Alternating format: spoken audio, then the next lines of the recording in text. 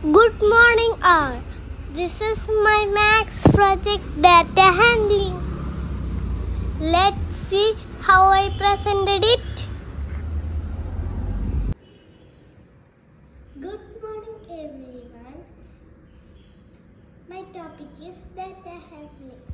The following chart shows the number of birthday of students in grade 1B students in each month.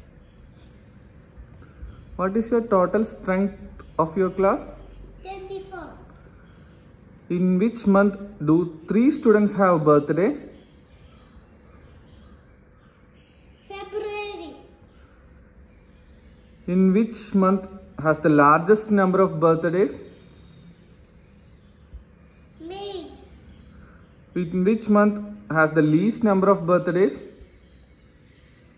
January. July November ഇതാണ് ഞങ്ങളുടെ questions please like and share my video do not forget to subscribe my channel. Thank you all.